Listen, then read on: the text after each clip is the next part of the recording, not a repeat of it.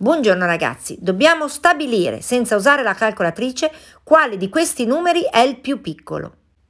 Abbiamo a che fare con un logaritmo in base 10. Prima di iniziare ad entrare nel vivo ricordiamo alcune delle formule, delle proprietà dei logaritmi. Precisamente, banalmente, il logaritmo in base a di 1 fa sempre 0 il logaritmo in base a di A dà sempre 1 e c'è un'altra proprietà che qui useremo, il logaritmo in base a di un argomento che ha un suo esponente c può essere riscritto portando c fuori dal logaritmo che moltiplica il logaritmo in base a di b. Ora, per comodità incominciamo a porre x il logaritmo in base 10 di greco se vedete nelle altre risposte compare comunque questa parte. Notiamo inoltre che greco è un numero compreso tra 1 e 10. Quindi, se io applico il logaritmo a tutti i termini di questa catena di disuguaglianze, ottengo che il logaritmo in base 10 di 1 è minore del logaritmo in base 10 di greco, che è minore del logaritmo in base 10 di 10. Cioè che il logaritmo in base 10 di greco si trova compreso tra 0 e 1. Abbiamo quindi approssimato il valore di questo logaritmo in base 10 di pi greco dicendo intanto che è un numero minore di 1. Teniamolo lì e iniziamo a prendere un altro numero delle tre risposte che rimangono. Analizziamo per esempio il numero della terza risposta, 1 fratto il logaritmo in base 10 di pi greco elevato alla terza.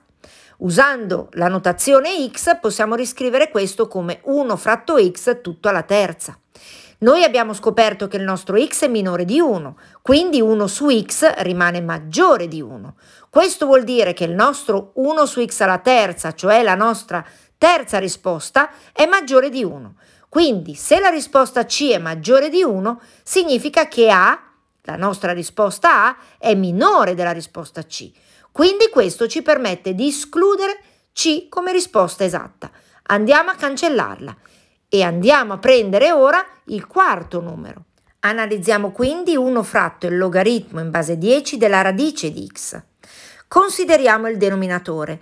Per le proprietà del logaritmo ripetute prima, possiamo riscriverlo in questo modo. Il logaritmo in base 10 della radice di pi greco è il logaritmo in base 10 di pi greco elevato all'un mezzo. Questo un mezzo corrisponde al nostro c, che può essere portato davanti al logaritmo. A questo punto possiamo rimettere tutto all'interno della frazione e poter dare un valore al nostro quarto numero il 2 passa numeratore e sotto ci ritroviamo la risposta A, cioè il nostro x. Quindi significa che 2 fratto x, essendo x un numero più piccolo di 1, rimane un numero sicuramente maggiore di 2. La nostra quarta risposta, il nostro numero d, può essere scritto come 2 su x, cioè un numero maggiore di 2. Quindi A è più piccolo di D e ancora una volta questo ci permette di escludere la quarta risposta tra le papabili risposte esatte. Cancelliamo anche la risposta D. Ci rimane da valutare e da confrontare tra di loro la A che ormai conosciamo con il secondo numero, quello della risposta B. Quindi analizziamo adesso quest'altro numero. Il numero da guardare è esattamente la radice quadrata del logaritmo in base 10 di pi greco elevato al quadrato. Posso applicare anche qui la terza proprietà, porto il 2 davanti al logaritmo e mi ritrovo ad avere la radice di 2 che moltiplica x. Ma essendo x un numero sicuramente minore di 1, la radice di 2x è sicuramente maggiore della radice di x per x, che non è altro che x. Stiamo parlando comunque di un numero positivo.